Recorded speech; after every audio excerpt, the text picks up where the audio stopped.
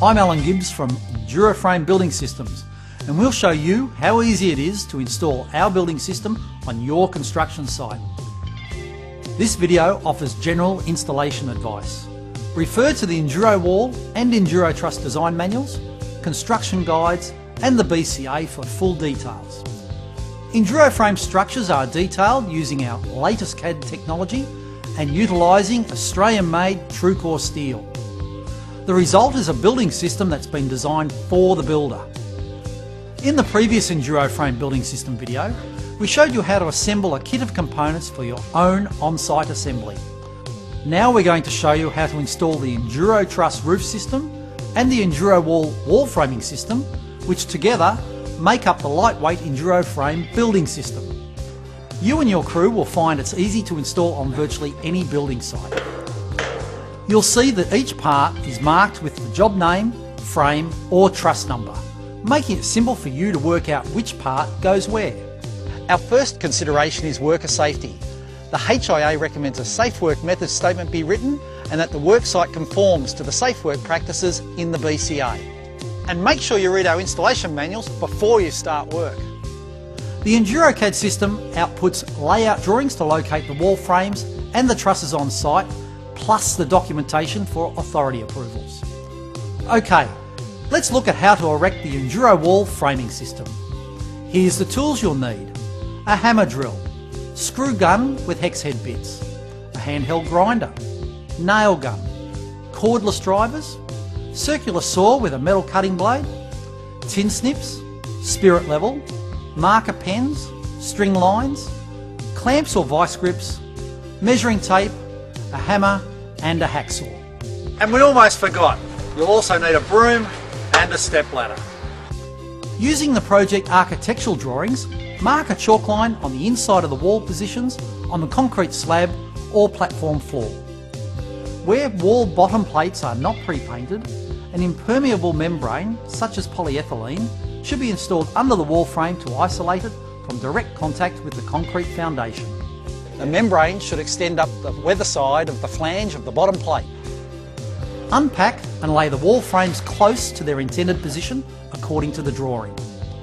Starting from one corner of the building, stand two frames to the chalk lines to make a square corner. Screw the panels together using hex head screws at the top and bottom plates.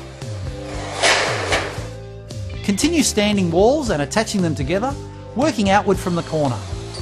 Making sure you set the interior walls inside the building before completing the exterior walls.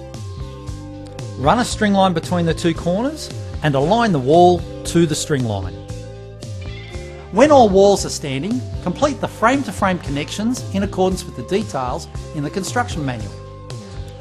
Move the frames to align with the marked wall position check room sizes and ensure rooms are square.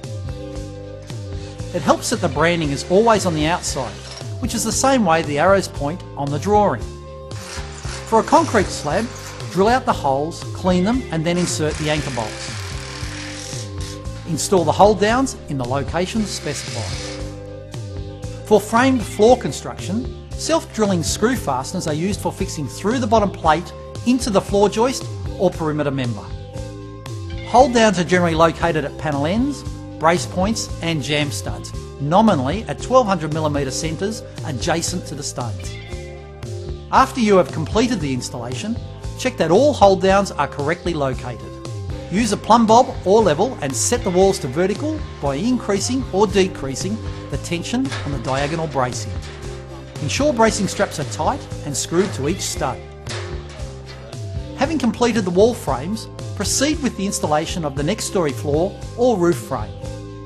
Aligned service holes make cabling and plumbing easy and straight walls give a great finish to the plasterboard. Follow-on trades will find working with Enduro Wall wall frames a breeze. Install the Hardie brace according to the manufacturer's recommendations. Now we'll look at roof frame installation. Stack the trusses in the order they will be required for installation. EnduroCAD software has produced drawings to help us install the roof frame. Your frame may come with factory installed truss hold down brackets. If these are not installed, Then using the truss layout drawing, mark the top of the wall to indicate the truss locations. Install the truss hold down brackets to the top plate of the wall at each truss location using the connection system specified in the construction manual. It is generally best practice to install girder trusses and the hip ends before proceeding with the installation of standard truss runs. Stand the first truss and screw through the face of the connection bracket into the bottom chord of the truss. Some of the heel screws may have to be removed to have the truss fit flush against the clip. The screws used to attach the clip to the truss replace the screws that you have removed. Make sure the truss is centred properly on the building by measuring the overhang on each end of the truss to see that they are in accordance with the drawings and they are standing vertical. Install the next two trusses and screw a piece of top span batten into the top chords of the trusses to temporarily brace them. Extend the top span batten out to catch and brace the next trusses. When all trusses are erected in their nominated locations, assemble the hip rafters as shown on the detail sheets, fixing through the top chord of the trusses into the hip rafter. Mark the overhang length on the jack rafters using the truss overhang as a guide. Position the rafter with the branding located at the outside face of the wall and square to the wall. Fix the jack rafters to the top plate and truncated truss top chords in accordance with the connection drawings. Install the bracket between the hip rafter and the jack rafter and install bracing over the top chord of the trusses. Refer to the construction guide for the connection drawings and screw specifications. Once all the trusses and rafters are erected, install the roof bracing in accordance with your connection manuals. Bracing is generally placed as close as possible to 45 degrees to the sidewall, but not below 30 degrees. One end of the bracing is fixed to the wall top plate, adjacent to the truss position, and the other end to the apex of the A truss. The bracing is then fixed to the top chord of each intermediate truss. In the hip zone, no additional top chord bracing is required. Install the appropriate top span battens in accordance with the cladding requirements.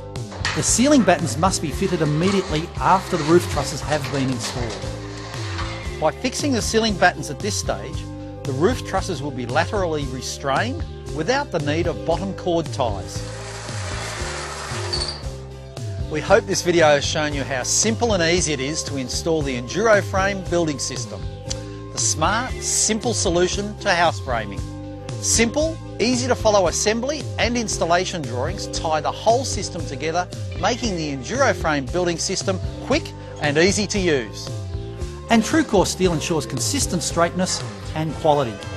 And finally, we think you can now see how you can profit from putting the Enduro Frame building system to work for you.